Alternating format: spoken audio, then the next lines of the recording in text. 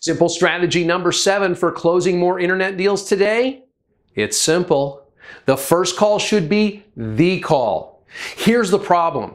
Our teams expect to make more than one call to schedule an appointment that shows. It's because, as we learned in simple strategy number four, they're treating leads like they're requests for more information. They're not. Leads are orders, phone calls are orders. When I have someone on the phone, I have one goal and it's an appointment that shows.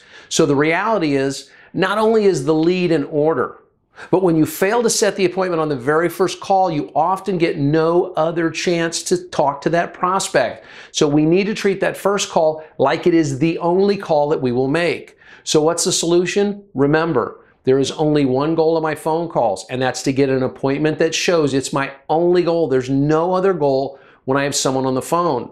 But in order to do that, I have to control the call. I have to keep bringing them back to my goal. Every time they take me down a rabbit hole, I need to bring them back to my goal and say, yes, and I have two test drives open on that Camry this afternoon. I've got a 215 and a 245. Which one works better for you?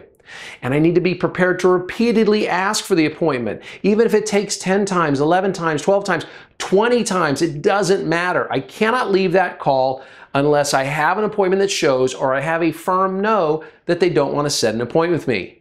It really is that simple.